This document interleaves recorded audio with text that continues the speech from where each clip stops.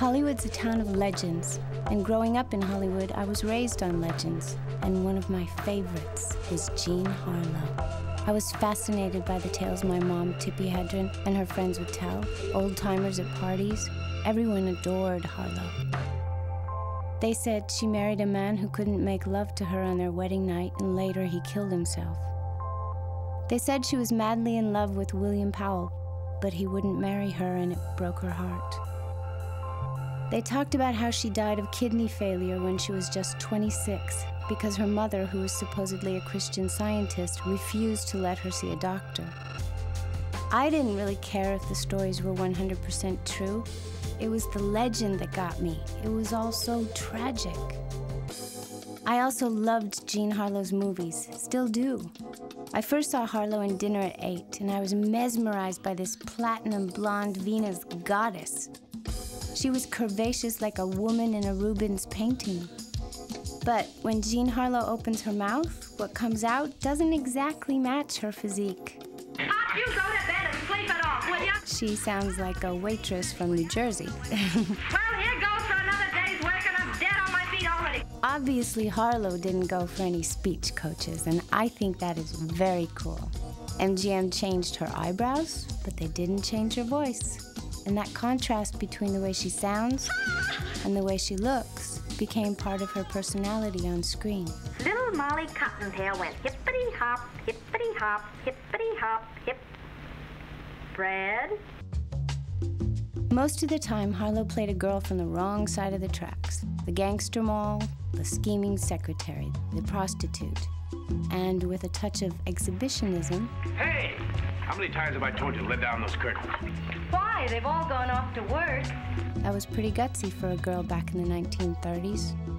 But even when she's playing these brazen creatures, her vulnerability and her heart shine through. That combination, I think, made her fans go absolutely crazy for her. Harlow struggled in her early movies. I know they're after you. You've got to go away. You must protect yourself. But later, she hit her stride in comedies. She is so irresistible in front of the camera. She's so cute. Sweetheart. Well, what is it, Hartley? The movie Bombshell is kind of a glimpse at what life was like for Harlow. Hey, where's Clark? Isn't he working in this with me? The clock's on 15 till noon. She totally pokes fun at herself. Her frustration with her freeloading relatives, Oh, get away from me, all of you. You're nothing but a pack of leeches. the press, the fans hounding her, even her longing for children. Why don't we get married like we should have done in the first place? Lola. And have lots of little babies. All in a day's work in the topsy-turvy world of a movie star. A glamorous bombshell, eh? A glorified chump, that's what I've been. Being a sex symbol is so much fun, definitely better than playing the wallflower. She got to make movies with Clark Gable. He was so handsome. Oh my God, wasn't he?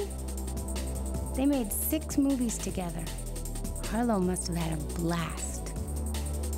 At the peak of her career, Harlow was one of the biggest stars at MGM, right up there with Joan Crawford and Greta Garbo. She became an icon, the first blonde bombshell. Before there was Marilyn Monroe, there was Harlow. But sex symbols don't have it easy. Immediately, you're labeled as not being particularly intelligent, I was reading a book the other day. and you're rarely the first pick for serious parts. I'm sure that that wasn't easy for her. That's what makes Wife versus Secretary such an interesting Harlow film. It was her big break in a serious good girl part, and she proved she had the makings of a solid dramatic actress. Tomorrow he's taking me to Bermuda as a friend. But it won't go on like this. Pretty soon he'll want to buy me things. That's how it always starts. And then it'll be too late. Because if he ever turns to me, I won't turn away. I think that if Jean Harlow had lived, she would have become an even better actress. I mean, she was just a kid. I like to believe her great heart and that freshness would have survived. And I hope she would have found a great love. But we'll never know. And that's what makes her a legend. It's sad, you know, I don't hear people talk about Harlow anymore. I don't want her to fade away. Thank goodness for her movies. There, she's radiant and always will be. For Turner Classic Movies, I'm Melanie Griffith.